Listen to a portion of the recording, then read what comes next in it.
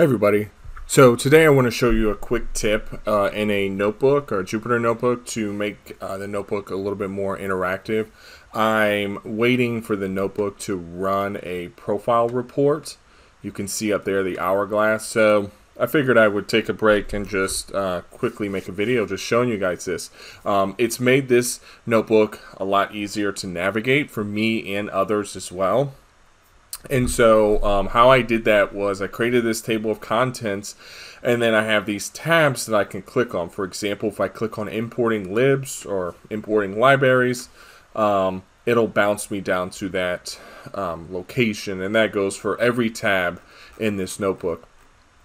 To do that, it's really easy. And so if we go back to import libs um, and we click on that, you can see it's just markdown. And then this over here is just for scaling. So ignore that, and it's the most important thing is the text. And so if we copy the text and we do Shift Enter, go back up to the top, um, we can see uh, in here, and this again is this one is markdown just like the other one. Um, so uh, up here we just have table of contents, and below is our actual uh, sections.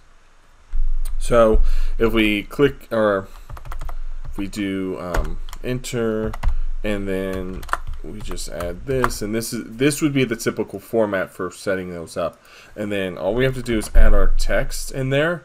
Uh, for this one over here we need to replace all the spaces with dashes.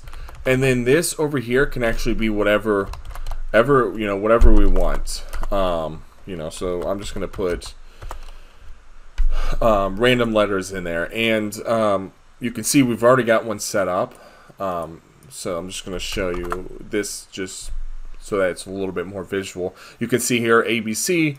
And then if we click on ABC and let me um, make sure that this has I, this needs to match exactly what's um, in the section and I accidentally did not copy the I. So I'm going to do Shift Enter click ABC and it bounces us down to importing libs. So anyways, um, that's it. I just wanted to show you ta the table of contents. It's made this notebook, uh, you know, really easy to, to navigate. Um, I think it makes it look a little bit more organized as well.